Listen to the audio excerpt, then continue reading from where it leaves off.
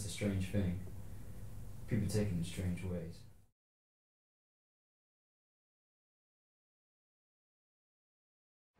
People shut down.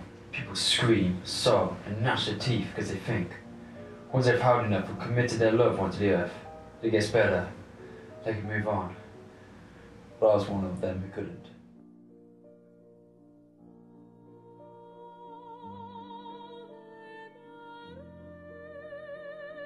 I needed vengeance.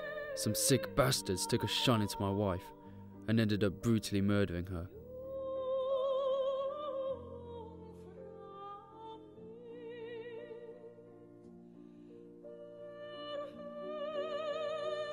I met a man. His name was Matteo. He mocked me at first, asking, Why didn't you go to Daddy for help? The thing was, I had gone to my father. But old man refused, said that because I hadn't joined the business and shown loyalty to family, why should he help me? Truth is, I know he resents me. He's stuck in his old ways, this my old man, with all his talk of family sticking together when an outsider tried to break us. well, he obviously didn't think that to me. Damn hypocrite.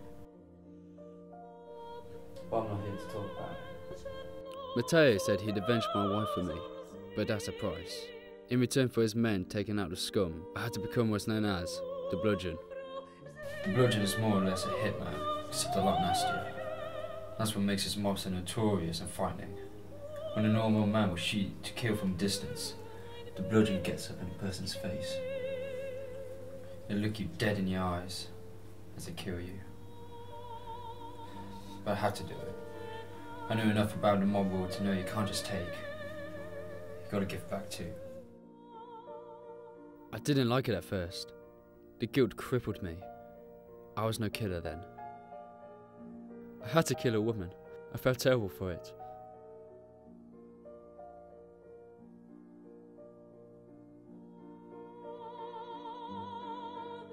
But eventually, I started to get a kick out of it. The remorse turned to adrenaline. I laughed at the people I hurt, as if the pain and suffering gave me power. I bragged and boasted about what I did. I kept a list of names and laughed as I ticked them off. I was no better than the bastards who killed Talia. What I didn't think through was the fact that Bludgeon must remain anonymous, at least to the outsiders of the Klein mob. I didn't think Matteo would catch up with me, but word on the street, he is. Whether I like it or not, I'm a dead man if I hang around. My father wouldn't help me now. He'd feed me to Matteo. I plan to see him, or at least write him a letter before I leave the country. I can't tell him where I'm going. Because knowing him, after what I've done, he will track me down and kill me himself. Either I'm boring you, or you're as angry at me as he is. I can't blame you. I'm a shitty excuse for bludgeon.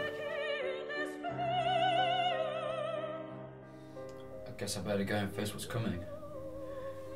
If I get out of this country alive, I'll be a very lucky man.